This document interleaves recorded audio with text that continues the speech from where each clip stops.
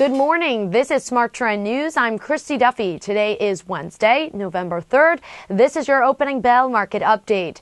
U.S. stock futures trading marginally higher Wednesday after the Republicans won control of the House of Representatives and as investors look towards the outcome of the Federal Reserve's meeting.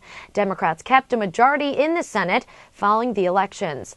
The Fed's policy announcement is due out at 2:15 p.m. Eastern Time, with observers expecting some form of quantitative easing as the central bank looks to boost the economy.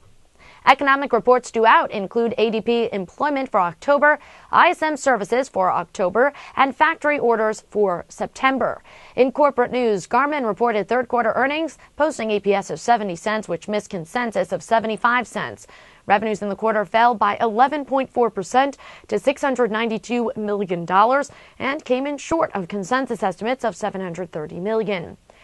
Electronic Arts could be in the spotlight today after the company reported a surprising adjusted profit for second quarter late Tuesday. Taking a look at the major indexes this morning, the Dow Jones Industrial Average futures trading 11 points above fair value, the S&P 500 futures trading almost 1 point above fair value, and the Nasdaq Composite futures trading 3 quarters of a point above fair value. For further updates, make sure you're subscribed to our YouTube channel. This is SmarTrend News. I'm Christy Duffy.